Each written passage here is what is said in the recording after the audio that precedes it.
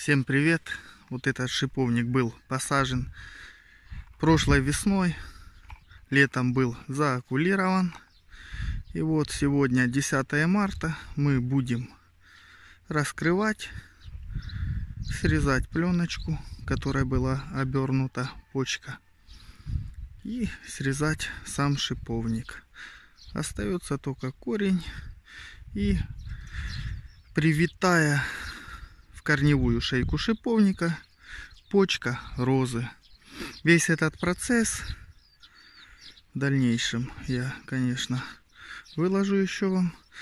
Через 2-3 месяца должен сформироваться уже полноценный куст розы.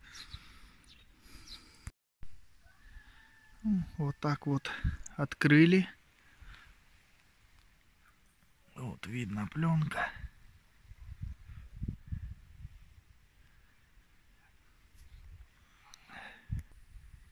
И вот так вот срезали. Вот с вот такой вот маленькой почечки. Через 2-3 месяца получится саженец розы, который к осени можно будет высадить или продать. Вот такой вот бардак сейчас на поле после срезки. В общем, вот так вот. И вот это вот еще предстоит срезать.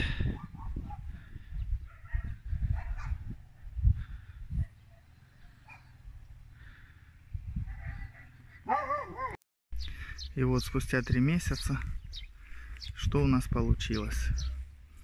Вот с такой вот маленькой почечки выросли вот такие вот кусты роз, которые будут полностью готовы осенью к высадке, к продаже. Полностью товарный будет саженец розы. На мой взгляд, это самый оптимальный способ размножения.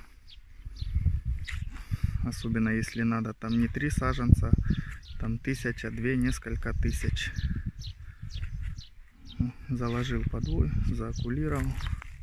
И вот получил за два года, и, или если весной закладывать шиповник за полтора года, вот такие вот саженцы роз.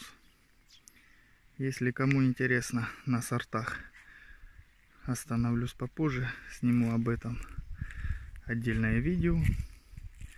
Если понравилось видео, подписываемся на канал. Спасибо. Пока.